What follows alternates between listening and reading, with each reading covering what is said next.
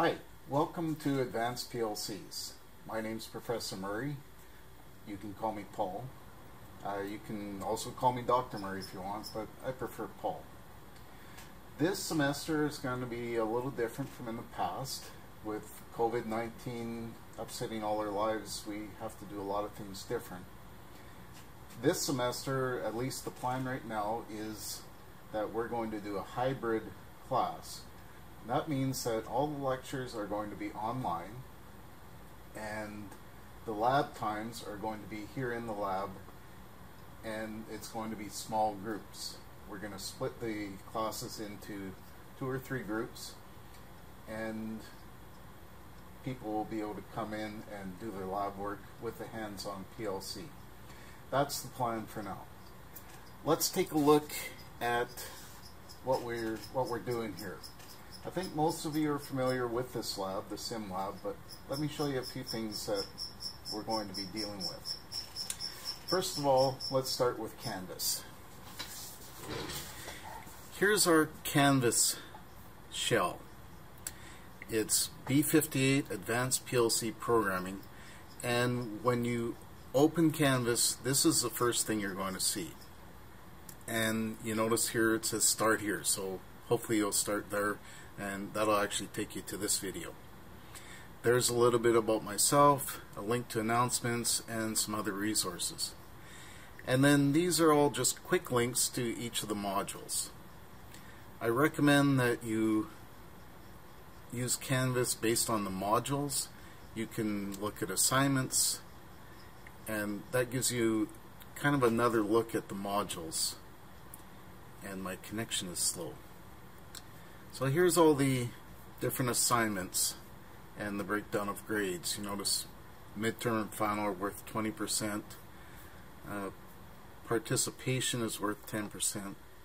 But let's go back home and we'll just click on introduction. That's where we start.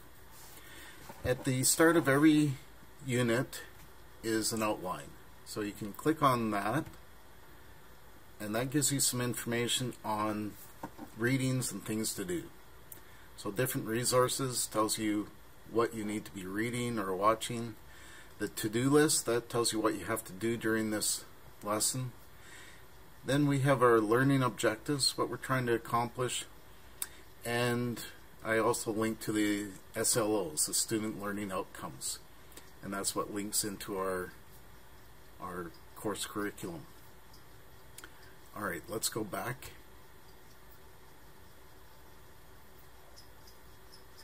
So that's an outline.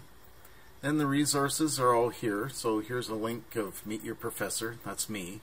That just uh, is a short video talking about myself, telling you my history. And then there's a link to resources that you need for this section. And then there's all your to-do items. There's discussions, quizzes, homework, that kind of thing. And then we'll we'll quickly get through Unit 1 and get into Unit 2 and start using the PLCs. Alright, so let's look at what we have here. We've got a few different components. The first is, I'll turn this guy on. We're not using the SLC 500s anymore, we're using the ControlLogix. The ControlLogix is the most advanced PLC used in industry. So that's the latest and greatest. We've got control ControlLogix here, and on this computer, if you can see it, I've got Studio 5000 pulled up. And Studio 5000 is what we're going to use for doing all our programming. We're going to do a little bit with ladder logic, and then we're going to jump into some more advanced languages. You'll, you'll enjoy them, believe me. Alright, so we've got our Studio 5000 here. Then over here, we've got our simulator for simulating the real world. And as you probably know, we've got lots of buttons. Each button is a light. And we've got switches, and we've got a little bit analog and a couple motors. So there's a little bit that we can play with here, but really it's not much. And it gets kind of kind of tedious to just use this simulator. So we start with that, but then we want to get into some more interesting stuff. And to do that, we've got Factory I.O. and that's up on this screen. You notice with Factory I.O. we've got buttons and lights, we've got analog stuff, but we also have conveyors and we've got loaders and unloaders and we've got a bunch of different stuff that we can do.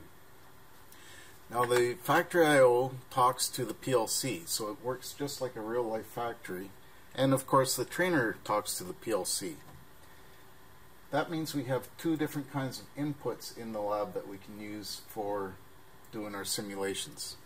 Those are the main components of the course that you need to be uh, using and becoming familiar with. The first is Canvas. We use Canvas for all of our communication. All of your assignments and all of your labs will be submitted on Canvas. So everything's done online with that. All the lectures will be linked from Canvas. I post the videos on YouTube because it's a little bit more reliable, but the links are all on Canvas. We're using Studio 5000 for our programming.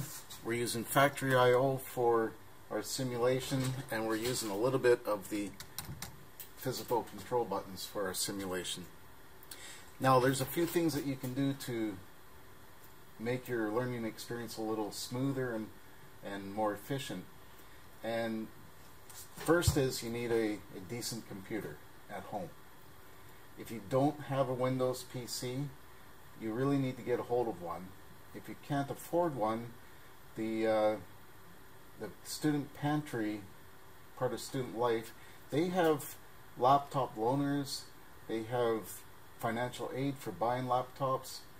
I know that the bookstore purchased they told they told us that they purchased a mountain of laptops that they were going to sell at discounted prices. I don't know what the prices are, but there's a bunch of different options. But you do need a decent uh, Windows-based laptop. Macintosh is not going to really do it for you. And the reason for that is we're going to use Factory I.O. and you can get a download for free and I'll post the information on how to download that. And we also might be able to get uh, Studio 5000 with an emulator for download. Now the Factory I.O. it's a nice small program. It's not a big deal to install. And it also has its own built-in PLC simulator that we might use a little bit. Studio 5000 is a big program and it takes a fair bit of disk space to to install it. So like I say, you need a decent laptop to do the course. Alright, so again, my name is Paul and welcome to the course and I look forward to meeting all of you. Thanks.